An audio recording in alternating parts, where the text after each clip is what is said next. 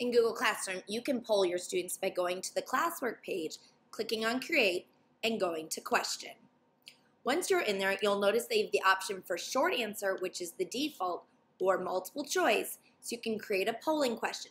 This does count as an assignment, but you can always make it ungraded.